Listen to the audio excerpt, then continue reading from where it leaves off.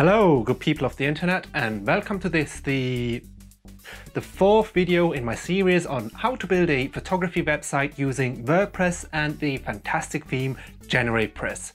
So what are we going to do today? As teased in last week's video, we have some more housekeeping to finish up on. What do I mean by that, you ask? Well, now that our galleries look just perfect, we need to make the page's hero area not stick out like a sore thumb. I'm including the menu and the header in that. Let's log in and get started. By the way, if you are interested in what I'm doing here with my website, make sure you check out my previous videos and you might also be interested in what is coming up, so get subscribed. The first thing I'm going to do is add my galleries to the menu to spare me from having to open them uh, from the backend. To do so, we are going to select menus under the appearance panel. Give the menu any name, it has no real influence on anything. With the menu created, we can start adding our galleries using the appropriate panel on the left hand side. And I'm guessing that you, just as I did, will be adding all of them. In the menu settings, you will want to set the location to the primary menu. Just like that, our galleries have now replaced the sample page. No more clicking through the backend to find the link to each gallery. During the making of this video, I decided to do something differently for a change and not go for the default menu. Instead, I will be using the so-called off canvas panel. This canvas panel fills up the whole screen instead of just appearing at the top and I think it might make for an easier finger-based navigation. First, I will have to select which menu I want displayed there. It will be the same one as on the desktop version of the site. So I will go for the menu named Galleries, which I just created. Next, I will have the off canvas panel appear only on mobile devices.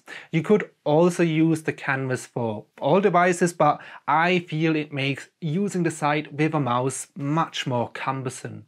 You can choose between two different styles for the off canvas panel. Either the slide style, which will slide in from one of the edges and not quite fill the screen or overlay which will fill the whole screen. I went for the latter. While I'm in the customizer, I might as well style the menu I've just created and you should do the same because the default certainly isn't what I envisioned and most likely won't be what you want either. I'll start off by adjusting the layout. I'm going to significantly shrink its height because the focus should be on my photos and I don't want the menu to take up a huge chunk of a visitor screen. You will notice that I can't go any lower than 20 pixels. That's something I will fix before moving on. The reason for that minimum is the fact that my site's title is still rather big. Once again, I want the title to be there, but I don't want it to be the main focus. To achieve that, I'm going to select a lighter weight and I will also reduce the font size.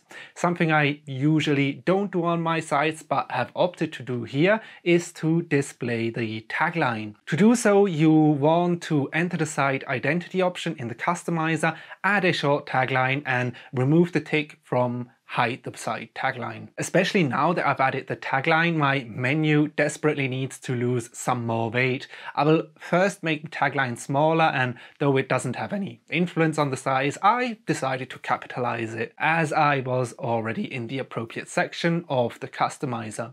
Do not forget to check the mobile layout anytime you change the layout or add text. In my case, it looks just fine. In case you have been wondering how to change that awful looking footer, you'd better get subscribed because I will be custom designing it using a GeneratePress element in a future video. With that out of the way, we can properly start styling the menu. The first stop will be the color section. Don't just copy what I am doing here. You do you. I just want you to see how I achieved the design I am using. Everything in this section is pretty simple and self-explanatory.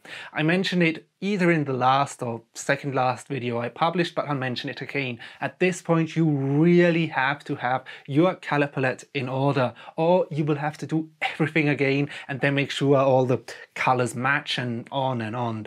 Save yourself the hassle and do it the right way from the beginning. As I was adjusting my colors, I came to the conclusion that my menu was definitely still taking up too much space. With the fonts already as small as they can be, I headed back into the layout section and adjusted my headers padding until a satisfactory design was achieved. As I was making sure the new layout looked good on all devices, I noticed that I hadn't yet styled my off-canvas panel. As it is its own thing, it doesn't get its colors etc from the menu. I quickly set things in order and having looked at the panel for a few minutes I decided to also increase the font size and margin between individual menu items. I made them thick enough to hopefully avoid any accidental presses.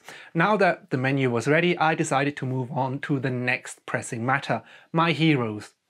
No, I'm not talking about Enrique Iglesias. Guess how we are going to create the heroes? You're right, using an element. Create once, use everywhere. As with every element we have created thus far, it starts with a container. I'm going to leave the spacing on the left and right hand side at 40 pixels because narrowing the container makes the text look longer if there's only a few sentences. I don't like seeing any text on websites that have fewer than three lines to them, that's why. You might want to do things differently and that is fine. In fact, I encourage it.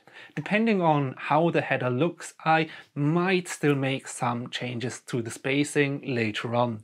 As for the background, I do still want the pink color I'm already using for the body's background, but I do want to lighten it up a bit to help separate the hero from the content. It should also make the black text more legible and that is certainly a nice side effect. As I said in the previous video, I didn't like the way shapes looked in the gallery, but my hero won't contain any images and just text, Plus, because I set the spacing to zero in the customizer, the container block I'm editing right now will, will butt right up against the menu. That gives me an idea. I'm first going to add a very short triangle to the top of the container. The color will be the same as that of my menu. To make things a bit more interesting, I'm going to add a second identical shape but this one will be slightly shorter than the first.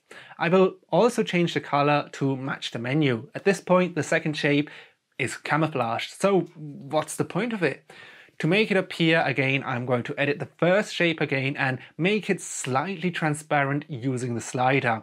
Just like that, I have created what is in my opinion a nice looking and interesting detail to my site. You'll see what it looks like in just a minute. Before you get to marvel at my creation, I'm going to add a headline block, set it to heading 1 and have it display the title of the gallery. Because my triangles draw the eye to the center of the page, I'm also going to align the title to the center. One more slight adjustment and I promise you will get to see the site. I want a distinct border between this container and the photos in the galleries. So I'm going to add one. I'm not making it too fat, but you will definitely know it's there. To match the shapes above, I will give it the same color. Now I feel confident in hitting publish. But first I am obviously going to assign it to all galleries. And no, I definitely didn't forget to do that before and never had to wonder why my hero wasn't appearing Never. And there you have it, the hero to my galleries. If you want to change the title to anything else, for example, landscape photography, you can simply edit the gallery in the backend and change its name. Another thing you can do here, which I think is currently missing, is adding a description. For now, I'm just going to add some lorem ipsum text, but you would obviously write a grand introduction, catching the reader's full attention. You can also section the text into paragraphs, which I'm going to do for the nature gallery for demonstration purposes. To display the introduction, we need to edit our hero element. We won't change anything here, but we will add a dynamic content block from GeneratePress. From the dropdown, you are going to want to select term description to have your text displayed. After updating your element, you can refresh the gallery and won't you look at that? There's our introduction. And doesn't it make for great reading? I did say earlier that I will have to see what the hero looks like before changing the spacing and looking at mine there definitely needs to be more space between the photos and the border I just added.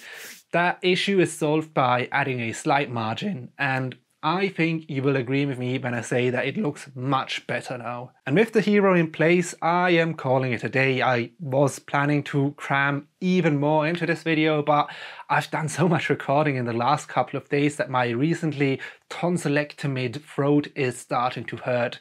All the more reason to subscribe to my channel so you don't miss out on what is coming up. I'll give you two small hints social links and footer. As always, thank you very much for listening to me ramble on and if this video did help you out, please do hit that like button as a show of appreciation. It really makes a difference. If however you didn't like this video, hit the dislike button twice to make it extra impactful. And with that, it has been enough from me for one day. I've been Liam Alexander Colman and this has been me teaching you how to style your menu and hero using GeneratePress.